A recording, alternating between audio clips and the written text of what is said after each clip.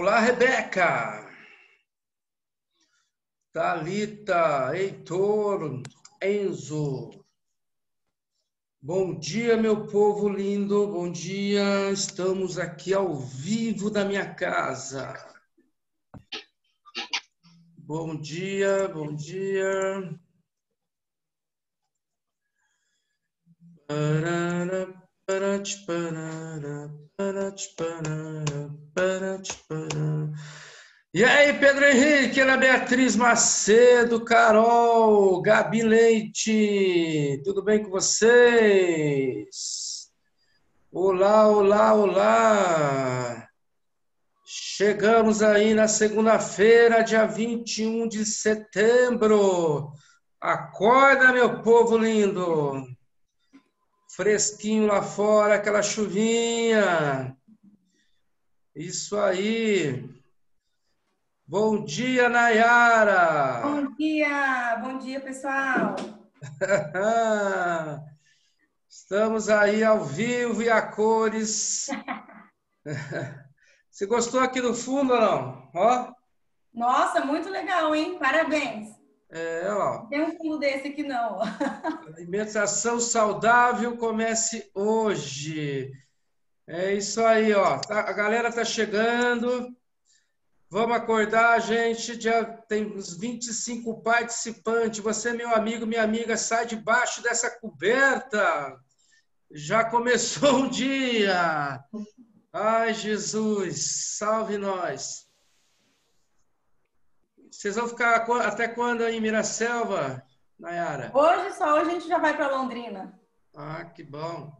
Você está tra tá trabalhando aqui? Não, agora eu só estou com o meu bebezinho.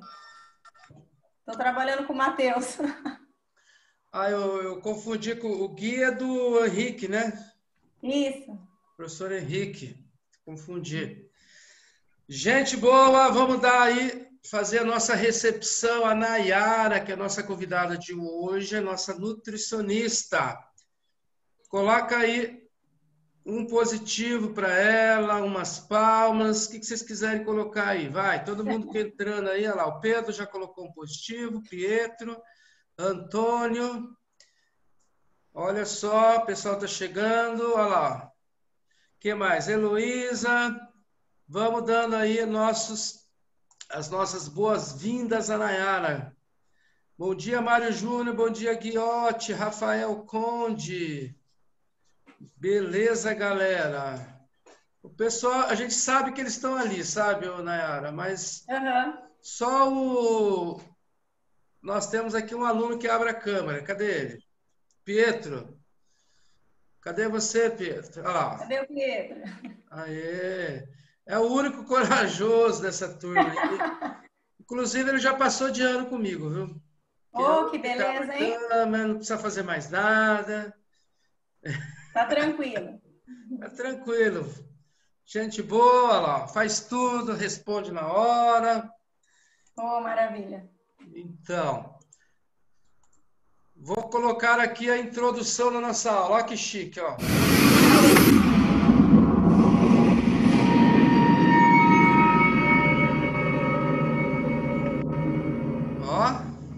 Verdade, hein? Fala a verdade.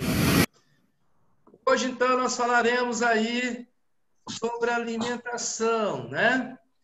Aí o pessoal começa a falar, ai meu Deus do céu, nutrição, eu tô gordinho, não sei o que que eu faço. A nutrição, já fui na nutricionista, ela já me deu bronca, né? Tudo aquilo. Então, para vencer na vida, nos esportes. Então, a alimentação saudável, gente, tem tudo a ver com educação física, né? Nós sabemos aí uh, que esportes de alto nível, um dos fatores aí muito importantes para que eles obtenham êxito, êxito, né? É tendo uma alimentação saudável, eles se alimentando de acordo aí. Então, ninguém vai ter subir num pódio aí ninguém vai ter grandes resultados se ele não tiver uma boa base de alimentação. Isso que a Nayara vai nos ajudar aqui a falar. Então, a A Nayara é essa aí, ó, ela é esposa do professor Rafael Pelaquim, que é professor, vai dar aula para vocês o ano que vem de matemática. Ai, ai. O Rafael Pelaquim, muito bonita sua esposa. Ela não é minha esposa, não, rapaz. Davi, o Pelaquim, a esposa dela, esse que está aí na foto, ele vai dar aula para vocês o ano que vem de matemática. Esse ano é o Edmilson, né? Que dá aula para vocês de matemática. O ano que vem esse cara feio aí, ó. gente, a Nayara vai falar, vai tirar dúvidas de vocês. Às vezes a gente, principalmente na fase que eles estão, né, Nayara? De desenvolvimento, Sim, crescimento, puberdade, está crescendo um monte de coisa, espinha na cara, eles têm Tudo maior, mais. É, tem maior vergonha de se aparecer, né? Muitos aí, ó, você pode ter certeza que está enrolado na coberta, na cama, não tomaram café da manhã direito. Esse tempinho chuvoso. É, aqui em Londrina está bem, tá, amanheceu chu, chuva e está um pouquinho frio. Então, vamos que vamos, né, gente? Quero ver as perguntas, a participação de vocês. Aproveitem, hein? Então, é aquilo que a gente já falou, não só os atletas precisam de boa alimentação, né? Uhum. Nós, seres comuns, normais, também precisamos nos cuidar. Isso não é depois dos 40, depois dos 50, não, né, Nayara? É desde não. pequenininho. Isso é sempre, né? Então, a gente, se a gente tem uma alimentação saudável hoje, na idade que vocês estão, né? Com certeza será um adulto saudável. Então, criança saudável, adolescente saudável, futuramente um, um adulto saudável, né? Exatamente. E eu vou fazer a mesma pergunta que eu fiz para outra turma. Tem alguém na sala aí? Nós temos 44 alunos que vai, quer fazer nutrição, quer fazer a faculdade de nutrição? Fala para mim aí no chat, quero ver. Ô, Nayara, onde que tem nutrição em Londrina? Quais são as faculdades? Agora, praticamente todas, né? A UEL, então, começou com a nutrição, primeiro ano, Unifil, Unopar. Beleza, são três, então. Isso. Legal. Bom dia, bom dia, senhor Danilo, seu Heitor, Giovana. Vão colocando as suas dúvidas aí sobre nutrição, tá bom? O que, que o nutricionista faz? Vamos lá? Então, vamos lá. Nós, nutricionistas, então, nós cuidamos, claro, da alimentação, mas principalmente da saúde. Né? Então, o nosso objetivo maior hoje é esse. Através de uma alimentação saudável, a gente obter uma saúde, uma vida mais estável, uma vida mais, né, mais tranquila, sem doença, sem nenhuma patologia. Então, o nosso principal objetivo hoje é cuidar da saúde, da nossa saúde realmente. Legal. Eu vou fazer outra pergunta, quero que o pessoal de casa responda. Tem alguém na família de vocês aí, pai, mãe, sei lá, irmão, tia, tio, que são nutricionistas? Quero ver, coloque aí para mim no chat. Alguém da sua família, a tua, ah lá, a mãe da Rebeca é, ó. Rebeca Firmino. Firmino. A tia da Giovana Lucas é também, legal. Tem bastante parentes que são nutricionistas. Muito bom, muito bom. Vamos para o próximo slide aqui. Ah, o que, que o nutricionista pode fazer? Quais são as áreas dele, Nayara? Então, o nutricionista hoje ele pode trabalhar em vários campos, então é amplo. Né? A gente pensa às vezes que o nutricionista é só um cardápio para emagrecer. Né? Então, ele cuida do paciente lá no hospital, ele trabalha em clínica, esporte, é, pesquisas, indústrias alimentícias, é, enfim, então é muito amplo o campo do nutricionista.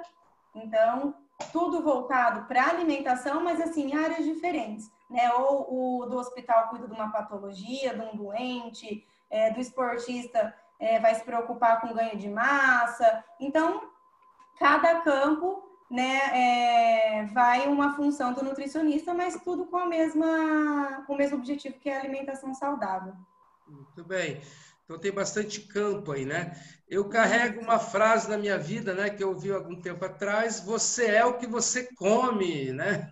Exatamente. Essa é bem famosa. Você é o que você come, gente. Sem... Não tem erro, Sem né? Dúvida. Vamos lá, vamos lá. O que que o um esportista, um atleta de alto nível, ele precisa mais que nós seres comuns quanto à nutrição.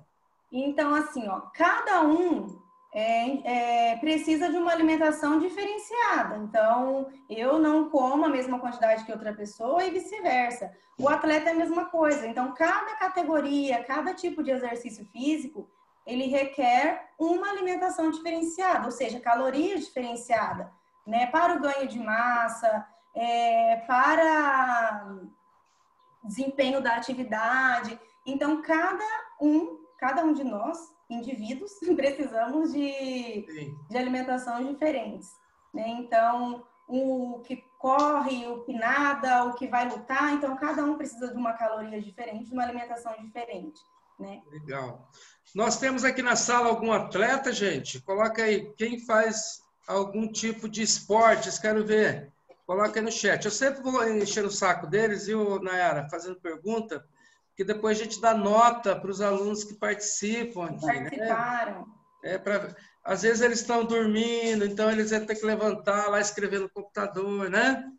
Olha lá, o Pietro fazia natação, a Rebeca natação também, o Mário Júnior corre quase todo dia. Vai correr da polícia não, né, Mário Júnior?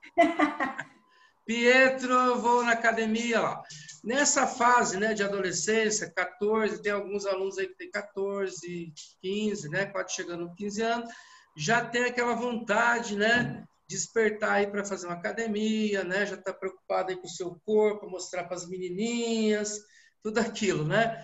Então, por isso que é interessante a gente saber também sobre a alimentação. Quanto aos músculos, a gente sabe que muita gente ele pega músculo fácil, né, Nayara? Tem uns que malha três, quatro meses lá, parece que não acontece nada, né? Isso é individual, né? Isso que é o individualismo que a gente fala de exercício físico. Então, nenhuma pessoa é igual a outra. Você pode fazer o mesmo exercício, você pode comer a mesma quantidade, porém temos metabolismos diferentes, é, nosso corpo de cada um é diferente, as funções, é, o desenvolvimento. Então, por isso que é bem individual mesmo. É bem para cada tipo de pessoa. A gente calcula um, um tipo de caloria, uma quantidade exata, porque ninguém é igual a ninguém. Então, não adianta você pegar a dieta do amigo ali, fazer o mesmo exercício que ele, que muitas vezes você não vai ter o mesmo desenvolvimento né, é, diferencial para o seu corpo igual a ele. Legal.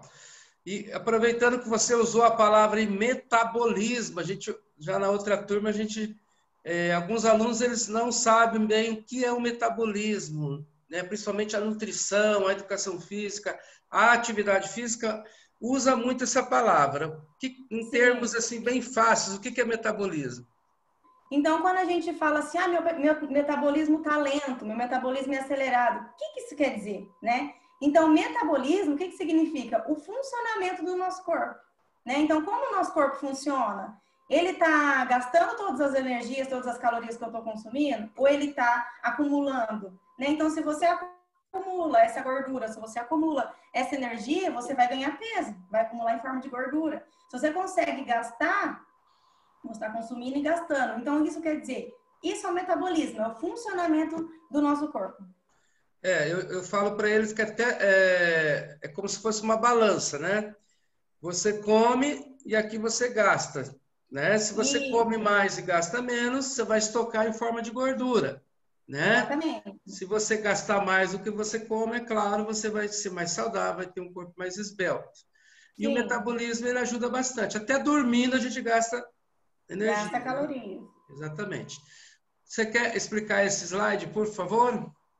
Vamos lá. Então, assim, essas são as recomendações básicas para o nosso dia a dia, né? Então, coisa que a gente já sabe, que a gente às vezes não segue, mas a gente já escutou falar muitas vezes. Então, os alimentos in natura ou minimamente processados, esses devem ser a base da nossa alimentação, né? Vou explicar no próximo slide, então, o que é cada um deles para a gente entender melhor. É, evitar fritura, muito óleo, muito açúcar, muito sal, né? Então, esse também é um dos nossos motivos aqui da alimentação saudável. E limitar o uso de alimentos processados e evitar os ultraprocessados. Vamos para o próximo, a gente vai explicar qual, qual é cada um desses certinho para vocês entenderem melhor. Então, ó, os alimentos in natura, eles são os alimentos naturais, que é aquele que a gente colhe e come. Né? Então, não tem nenhuma modificação, não tem nenhum processo. Então, exemplo, tomate, colheu, lavou, colocou para venda. Né? Os alimentos minimamente processados, exemplo, é o arroz, por exemplo. Né? Ele embalou, ele colheu, fez todo o processo. Esse é um exemplo de minimamente processado. Mandioca, colheu, descascou, lavou embalou. Minimamente processado. Então, esses devem ser a nossa base da alimentação. Né? Aí a gente tem que evitar os processados, que são aqueles que sofreram alguma modificação, alguma adição de sal, de açúcar, embalou, enlatou, então é, legumes em conserva, frutas em caldas, queijos, né? E os pães. E os ultraprocessados, que são aqueles que a gente tem que tomar mais cuidado, que aquele tem que, tem que ir com mais calma, que são os mais gostosos, né? Que são é. chips, refrigerantes, salgadinhos. Então, esses são ultraprocessados, que é o que causa mais obesidade, mais doenças, né? O que vem causando hoje. Um exemplo, então, de um alimento que é in natura, sofreu um processo e foi para processados e ultraprocessados. Alguém sabe aí? Um, exemplo? Coloca aí no chat, gente. Quero ver a participação aí, de vocês. Eu vou dar um exemplo para vocês entenderem melhor, então. Por exemplo, o milho. Então, foi lá, colhe o milho. Esse é um alimento in natura. Processado, ele foi para latinha. Né? Então, ele, o milho ficou um alimento processado. E o ultraprocessado seria o chips, o salgadinho de milho que você comeu. Então, você viu a diferença? Qual nós devemos consumir mais na nossa alimentação. Ele, ele mudou teu, totalmente, né? No caso, né? Isso. Ele muda totalmente. É, e aquele que a gente vê, no, principalmente no colégio, né? Principalmente essa molecada que joga lixo no chão. Então, é saquinho de chips, é, é não sei o quê. Então, tudo que vem de saquinho, de lata, de caixa, a gente deve evitar, não é isso? Tem que pegar o mais natural possível. Vamos lá, então, para o próximo slide aqui. Dicas úteis. Essas dicas aqui, ó, são essenciais. Então, dá mais nesse tempo de quarentena, que a gente fica em casa na frente do computador, tendo que prestar atenção nas aulas, né? Nesse calor que anda fazendo. Então, prefere, prefira muita água no lugar de refrigerante, suco industrializado, né? Então, água sucos, salada de fruta, é, hidrate-se regularmente, beba bastante água. A gente calcula em média aí 35 ml por quilo de peso. Então faça sua continha e vê mais ou menos quanto que você deve beber de água por dia. É, e nunca substitua a água por suco industrializado, água por refrigerante, né, por aquele H2O que é um refrigerante do mesmo jeito. Então prefira água mesmo, natural né? E o suco natural. Não uhum. substitua também a comida feita na hora, a comida in natura pela ultraprocessada, que seria o quê? Os pratos congelados, industrializados, macarrão instantâneo, né? o famoso miojo. Então, essa é umas regrinhas básicas para o nosso dia a dia. Legal. É, eu vi numa, num vídeo esses tempos aí os piores alimentos para o nosso corpo. Adivinha qual que é o primeiro pior? Alguém lá. coloca aí no chat. Quero ver qual, qual vocês acham que é o pior dos alimentos para o nosso corpo. Tá nessa tela aí, ó. Isso mesmo, são os refrigerantes, não é isso, Nayara? Podemos Exatamente. dizer que o refrigerante é o pior alimento que existe? É o pior alimento. Então não tem nada de bom no refrigerante, não tem um nutriente, não tem nada que a gente possa aproveitar. Então tem adição de açúcar, de conservante, de corante, né? Então não tem nada e, de bom ali. E não interessa se ele é light, se ele é, é tudo ruim, né? Um é um não, excesso exemplo, de açúcar, outro excesso de, de, então não adianta. Não adianta. Todos têm o seu malefício ali, não tem, ah, eu, vamos pegar uma coisa boa, refrigerante, a gente não tem. Então, é caloria vazia que a gente fala, né? Porque não tem nada de para aproveitar dali. Só é gostoso de tomar junto com uma pizza, né? Meu Deus do céu. Quando você falou em suco ali, a gente deve evitar suco de, de caixinha, não é isso também? Que é um... Isso. Por mais que esteja lá escrito é, sem conservante, sem adição de corante, mas assim, a gente tem que pensar. Tudo que tem uma data de, de validade grande, tem muito conservante ali. Então, ah, ele tem um ano de validade, ele tem bastante conservante, e isso é um dos fatores que prejudica na nossa saúde também, além dos açúcares, é, de, várias, de vários outros ingredientes que a indústria coloca ali para dar sabor, para dar cor, né? Então, tudo isso uhum. é prejudicial para nós. Beleza, gente. Ó, vamos colocando aqui no chat, eu quero perguntas, gente, vamos participar, ó. Você, nós temos aqui meia hora com uma nutricionista, aproveite, né? Fora a Rebeca aí que tem uma nutricionista em casa, né? Mas é, vamos aproveitar mesmo. Olha lá, nós temos mais outras dicas aí para você, Nayara. As sobremesas caseiras, igual quando a gente fala, prefira sobremesa caseira. Então, vamos preferir ali uma salada de fruta, por exemplo, no lugar daquele pudim que você foi lá e comprou, que é gostoso também. Mas não que a gente não possa, né? A gente fala assim, que a gente pode comer de tudo, mas tudo com moderação né? Então, não é todos os dias que eu vou comer uma sobremesa industrializada, não é todos os dias que eu vou tomar um refrigerante. Então, assim, é o bom senso, vale do bom senso de cada um, né? Então, moderação, isso é a palavra-chave. E preferir sempre os alimentos mais naturais possíveis. Ótimo. É, o que a gente tem que ter aí é bom senso, né? Existe o tal do dia do lixo, né? Que a gente vê muitos em dietas. Isso aí funciona mesmo? A gente fala assim, é, dia do lixo. É tão gostoso aquele dia que você vai comer uma coisa diferente que nem poderia falar dia do lixo, porque é dia de comer coisa mais gostosa, né? Mas eu coloco sempre esse dia livre, que você vai consumir algumas calorias a mais. Mas no caso, por exemplo, ah, a gente pode consumir no dia do lixo 300 calorias a mais, para você não fugir muito da sua dieta. E 300 calorias a mais, o que, que daria? Uma barrinha de chocolate, um copo de refrigerante. Então, por isso que vale o bom senso. Né? Então, ah, hoje eu comi uma pizza, por exemplo. Amanhã eu vou focar de novo, vou voltar na minha dieta, vou comer saudável. Então, isso que vale, é o bom senso. É, o que, eu, eu, gosto de ler bastante sobre alimentação. E a gente fala que, assim, dieta não existe. O que existe é você se alimentar bem a vida toda, né? Então, Isso, é uma, uma mudança... Né?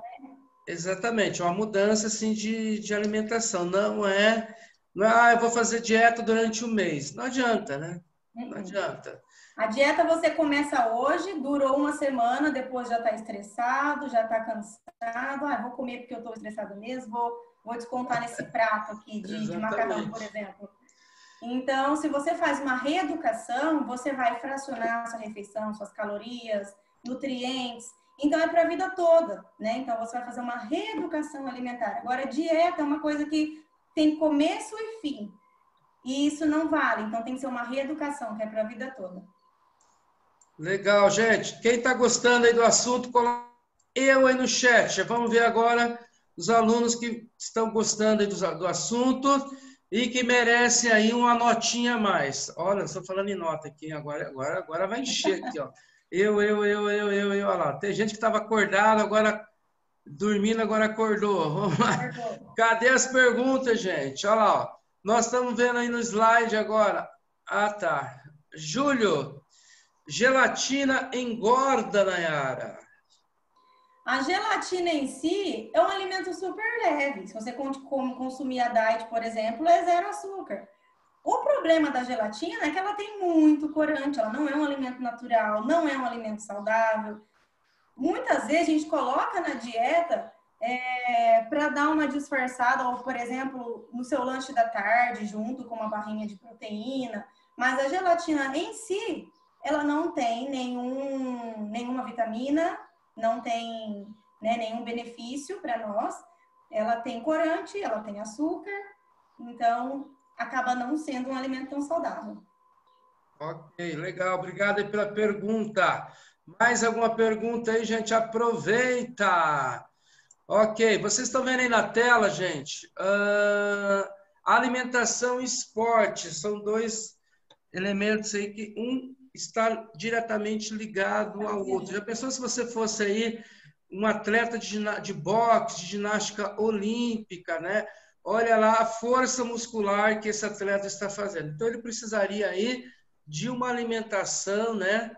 Diferenciada. No, no caso, esse atleta na área, ele, precisa, ele come muito. Eu já vi atletas comendo um prato bem grande mesmo de carboidrato. É isso mesmo? Sim. É isso mesmo. Então, a, a dieta do, do atleta é calculada a partir do tanto que ele gasta, né? Do seu metabolismo basal, que é o tanto de caloria que você gasta durante o dia, durante o treino. Então, vamos supor que esse atleta, ele gasta 8 mil calorias. Então, ele tem que comer um prato durante o seu dia que seja compatível ao tanto que ele gasta. Né? Então, tem atleta que consome até 10 mil calorias dia porque ele uhum. gasta muito. Então, tudo depende da sua frequência, do seu treino, do seu esporte, né? Então, com certeza, ele vai ter que comer aquilo para ele conseguir começar e terminar seu treino numa frequência estável. É, talvez o aluno que esteja aí, vamos, vamos colocar uma coisa aqui para a gente entender direito. O que, que é caloria? Caloria é uma unidade de medida, né, de, de energia, certo? Foi isso que eu aprendi. É, por exemplo, todo alimento que você ingere tem uma caloria. Quando vai para o organismo, ele vai ser queimado, vamos dizer assim, né? Queimado. Uhum. Uh, vamos, vamos colocar aqui para um alimento bem conhecido do, né, da mesa nossa aí. É, um prato de arroz teria quantas calorias? Vamos lá. Só para a gente então, entender. Uma colher de arroz, em média, uma colher de cheia, né? Uma colher de servir, ela tem em média 60, 70 calorias.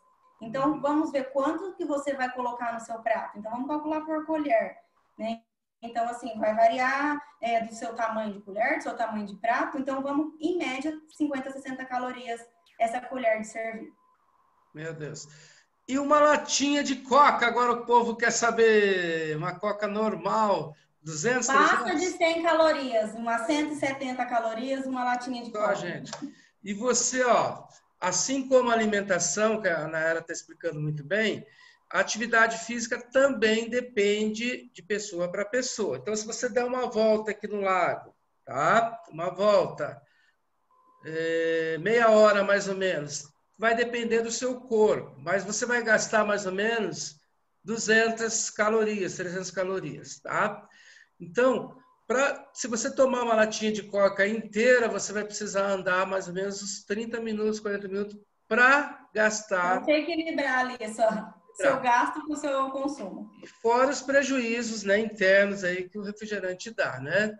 Não, não só a caloria, né, Nayara? Sim. É, nós temos pensar também em nutriente que ele nos oferece, né? Então, às vezes a gente olha só a caloria, mas o tanto de sódio, né, o tanto de gordura, o tanto de outros é, adicionais ali que tem nesse refrigerante ou em, em outro alimento, a gente não tem que pensar só na caloria. Se a gente for pensar só na caloria, por exemplo, um brigadeiro e uma maçã mais uma banana tem a mesma caloria, né? O que é mais gostoso, o que é mais saudável, o que é mais nutritivo. Então a gente tem que colocar na balança. E não são todas as frutas também que são saudáveis, né, Mayara? Sim, tem aquelas frutas mais doces, mais maduras, que contêm mais açúcares. É, apesar de ser um açúcar natural, ela acaba sendo mais calórica. Então, por exemplo, hoje uma das frutas menos calóricas que nós temos é o kiwi. É uma fruta com poucas calorias. A pera é uma fruta com pouca caloria. É, banana, por exemplo, já é uma fruta que tem mais calorias, mas que é saudável. Então, eu penso assim, quando é fruta, a gente pode comer sem culpa. Lógico, nós vamos comer um cacho de banana, nós vamos comer uma banana. Então, quando é fruta, a gente pensa que é, tem caloria, mas tem nutriente, entendeu? Diferente de uma latinha de refrigerante que tem calorias e não tem nutrientes. Então, apesar de ter, de ter frutas mais calóricas, igual, por exemplo, o abacate também, que é uma fruta bem calórica, rica em gordura, uma gordura boa, mas é bem calórico, a gente pode consumir com moderação todos os tipos. É, gente, não é fácil não, viu? Você tem tudo que a gente for aí nos alimentar, né? Nós temos que perceber os prós e os contras, né? Exatamente. Ai, ai, ai. Nós estamos falando aí, então dos atletas mal alimentados, que ele pode ter risco de queda da performance, né? Desidratação, perda de massa muscular, queda do sistema imunológico e aumento das lesões. Falar em, sistema imunológico, né? Agora nós estamos na, época da pandemia aí. Como que a alimentação pode ajudar, Nayara? Então, a, a nossa imunidade, o nosso sistema imunológico, ele está ligado diretamente com a nossa alimentação. Né? Então, assim, a gente consome ali uma alimentação balanceada, rica em nutrientes, em carboidratos, proteínas, vitaminas e minerais, com certeza a nossa imunidade está elevada. Agora, se a gente consome com frequência é só industrializados, só processados, com certeza a nossa imunidade está lá embaixo. Né? Então, assim, uma vitamina C, por exemplo, ela vai evitar um resfriado, uma gripe, né? Então, se a gente tem costume de comer, é, chupar uma laranja por dia, ou até o kiwi, o moranguinho, que também é rico em vitamina C, com certeza nossa, nosso sistema imunológico vai estar mais protegido do que aquela pessoa que não consome nada, que não consome nenhuma fruta. Igual pelos atletas, é consumido bastante inhame, né? Que eu vi que também tem no slide falando o exemplo do inhame. O inhame hoje, ele está ligado muito com o nosso sistema imunológico, ele é muito bom. Então, nessa, nesse tempo de pandemia aí, vamos aderir o, o inhame para o nosso sistema imunológico funcionar melhor aí. Legal, muito obrigado. Olha só, mais uma pergunta aqui, porque o nosso tempo já está acabando. O Júlio perguntou o seguinte: é verdade que carne não tem nada, nada de carboidrato? Tem. Todos os alimentos apesar de não ser fonte, tem carboidrato, proteína e vitaminas. Né? Então, a carne ela é fonte de, de proteína, mas ela também carrega com, com, contigo uma quantidade de carboidrato. Né? Por exemplo, o arroz, ele é carboidrato, mas ele tem uma quantidade mínima ali de proteína, ele não é a principal fonte, mas tem a mesma coisa da carne, tá? Não é fonte de carboidrato, mas existe uma pequena porção ali é difícil separar, né? Todo alimento ele tem um, pelo menos um ou dois nutrientes, não é isso? Sim, aham. Uhum. Legal. Gente, nós já passamos aqui de 31 minutos, a conversa está muito legal. E eu vou pedir aí para a Nayara se, se ela pode voltar algum dia aí para a gente, de repente segunda-feira que vem que ela possa também, né, gente? Uh, daí vocês eh, formulem mais perguntas para a Nayara. Então, anotando aí as dúvidas. Isso. Então, quem gostou aí da participação da Nayara, manda aí para a gente palmas, positivo, para a Nayara ficar mais contente aí e voltar. Quero ver lá, ó, quantas. Ó, gente, só clica aí nesse, nesse, nessa mãozinha, nessas palmas, quero ver. Eles são, eles são tímidos, viu, Nayara? Mas obrigado aí pela participação. O pessoal Obrigada gostou você, bastante. A gente marca, vamos ver se a gente marca outro dia para você voltar. Vamos, vamos marcar sim, com certeza. Obrigado, Nayara. Abraço aí no Pelaquim, bom retorno, a gente conversa. Pode deixar. Tchau, tchau, gente. Muito obrigada. Tchau, tchau.